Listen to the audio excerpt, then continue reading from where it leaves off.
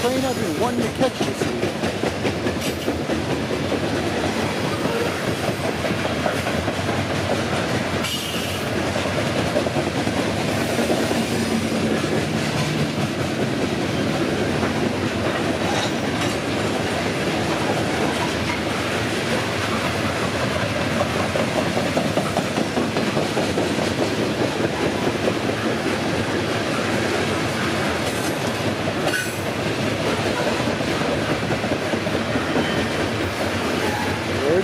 Illinois Terminal Heritage Unit, baby. Let's go.